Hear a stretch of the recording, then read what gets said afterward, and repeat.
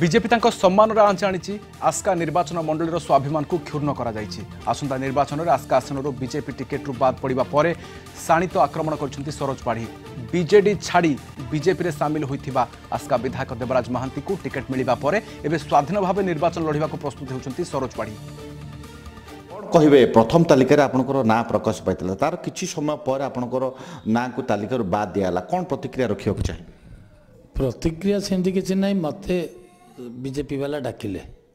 ମୁଁ ବିଜେପିରେ ଜଏନ୍ କଲି। ଜଏନ୍ କଲା ପରେ ପ୍ରଥମ ଦଫାରେ କେନ୍ଦ୍ରରୁ ଆସିସାରିଛି ଦିଲ୍ଲୀରୁ ଆସିଥିଲା ବି ମୋ ନାଁ। ଆସିସାରିଲା ପରେ ଏଇଟା ଡିକ୍ଲେୟାର କଲେ। ଆପଣ ମିଡ଼ିଆକୁ ଦେଲେ। ଗୁଗୁଲକୁ ବି ଛାଡ଼ିଲେ। ସବୁ ପ୍ରକାର ହେବା ପରେ ହଠାତ୍ ଆଉ ଥରେ ହୋଲ୍ଡ କରି ରଖିଲେ। ତାପରେ ଦେବରାଜ ମହାନ୍ତିଙ୍କର ନା ଆଉ କ'ଣ କରିବେ? ତାଙ୍କେ ତ କରୁଛନ୍ତି। ଯେଉଁମାନେ କି ଗ୍ରାଉଣ୍ଡ ଲେଭେଲରେ କାହାର ସ୍ଥିତି ଅଛି କ'ଣ ଜଣା ନଥିବ ସେମାନଙ୍କୁ କାହିଁକି ଦୋଷ ଦେବି? କ'ଣ ଦେବି? ସେମାନେ ଜାଣିନାହାନ୍ତି ଗ୍ରାଉଣ୍ଡ ଲେଭେଲରେ ଏବେ ଜାଣିବେ ଇଲେକ୍ସନ୍ ବେଳକୁ। ହେ କାଲି ମୁଁ ଭୁବନେଶ୍ୱରରୁ ଫେରିଲି। କାଲି ଫେରିଲା ପରେ ଆପଣ ଦେଖିଥିବେ ଏଇଠି ଯେଉଁ ଶହ ଶହ ଲୋକଙ୍କର ତୁମୁଳ କାଣ୍ଡ।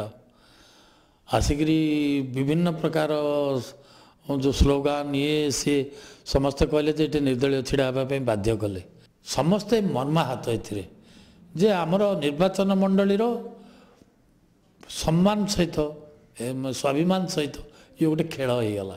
ଏ ଖେଳକୁ ସେମାନେ ବରଦାସ୍ତ କରିବା ପାଇଁ ରାଜି ନୁହନ୍ତି। ତେବେ ଦେଖାଯିବ ଆସନ୍ତା ଦିନରେ ସରୋଜ ପାଢ଼ୀଙ୍କୁ ଆସ୍କା ବିଧାନସଭା ନିର୍ବାଚନ ମଣ୍ଡଳୀର ଜନସାଧାରଣ କ'ଣ ସମର୍ଥନ ଦେଉଛନ୍ତି ତାହା ଏବେ ଦେଖିବାକୁ ବାକି ରହିଲା।